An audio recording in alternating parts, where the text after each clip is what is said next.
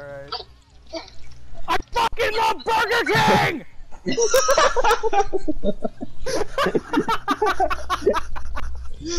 My head like